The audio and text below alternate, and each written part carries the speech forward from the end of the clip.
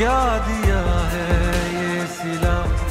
बेवफाई की रसम क्यों है तेरी इब्तदा?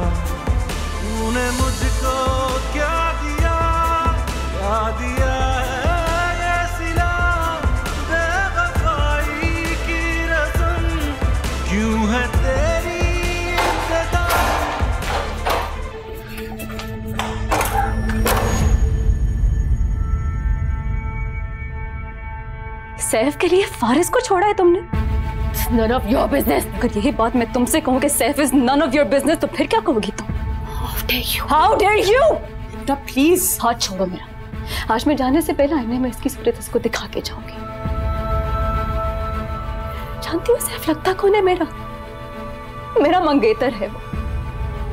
बुरा है फ्लर्ट करता है, लड़कियों को धोखे देता है ब्लैकमेल करके उनसे पैसे बटोरता है, लेकिन इस सब के बावजूद मैं सिर्फ़ उससे खफा हो सकती हूँ। उससे लड़ सकती हूँ, उसका मुँह नोट सकती हूँ, उसे थप्पड़ मार सकती हूँ, लेकिन उसे छोड़ नहीं सकती। क्योंकि वो मेरी पप्पो का बेटा है। और हमारे यहाँ लड़कियाँ बचपन में जिसके नाम कर दी जाए ना तो मरते दम तक उसी की मलकियत बन के सच बताऊँ तुम्हें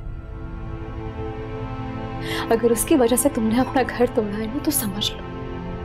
ज़िंदगी भर पछताने के लिए तुम्हें लंबी उम्र का तोहफा देंगे अभी लंबी उम्र जी और अपने मरने का इंतज़ार करो।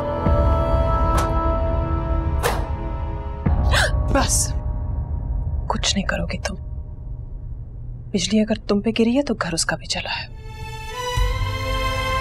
तकलीफ़ अगर तुम्हें हो रही है तो वो भी तड़प रही है। तुम भी ये तकलीफ़ सहो और उसे भी तड़पने दो।